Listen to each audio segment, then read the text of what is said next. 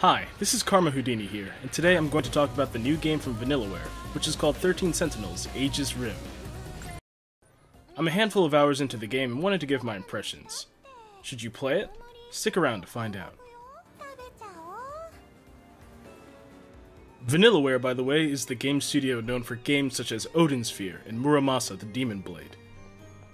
First off, I'd like to say this game has great music and voice acting. And by the way, there's Japanese and English voice acting to satisfy both crowds. There's great art and animation.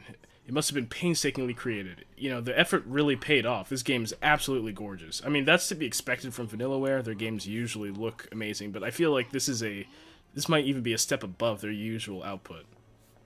This game is essentially an adventure game, in the sense of a choose your own adventure, mixed with real time strategy RPG.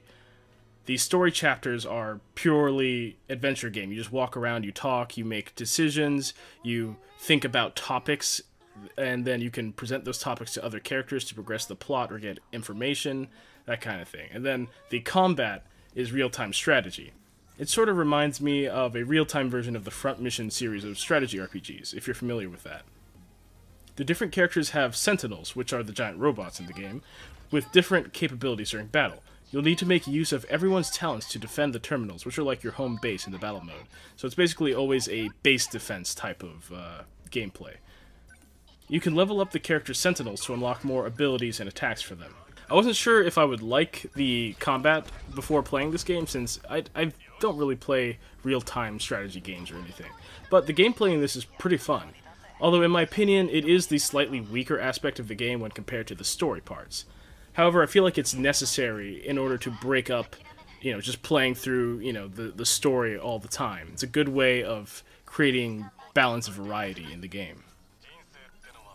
I do wish that the battle presentation was a little bit better. I feel like they had to cut corners with the battle presentation.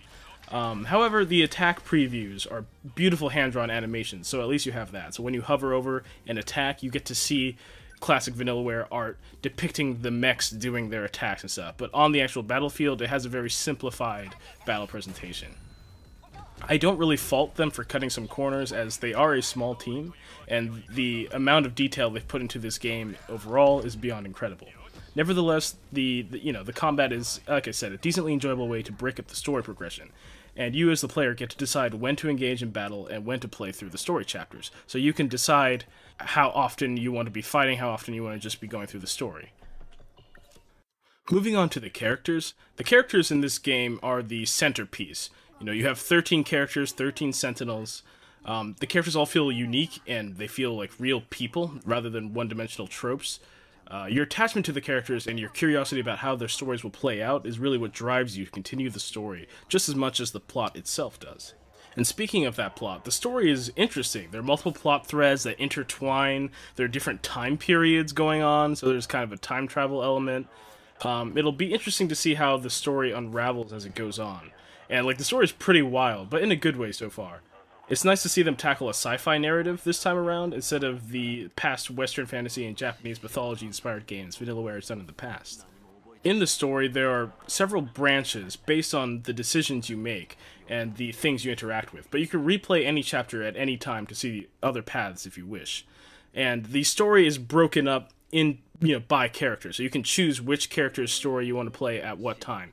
However there will be locks at certain points that say you need to complete this battle mission or you need to progress another character's story before you can come back to this character and keep going because they don't want you to spoil things and get too far ahead of yourself. The battle scenarios and the story chapters are always short enough that you never feel tired of playing during either style of gameplay.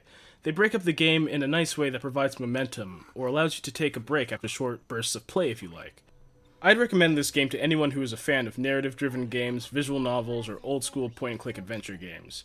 Of course, if you're into real time strategy, this might satisfy you, but since I'm not a real time strategy buff, maybe it, it's not deep enough for people who are super into that, but I feel like it's a fun enough experience that it, you'll enjoy it anyway. Above all, this game is gorgeous, it's well voice acted, has great music, and the story is very interesting. And the gameplay, while not amazing, is you know it's pretty good, and it's not going to hamper your enjoyment of the game. So I would definitely recommend picking up this game if this sounded interesting at all to you. Yeah, this studio they, they put a lot of time and effort and money and resources into this game, and they it takes them a long time to make their games, and they never really sell blockbusters or anything. But uh, if you could uh, buy the game, I'm sure that would be great for them. So, Thanks for watching, and uh, stick around for more content. Like, comment, and subscribe. Thanks.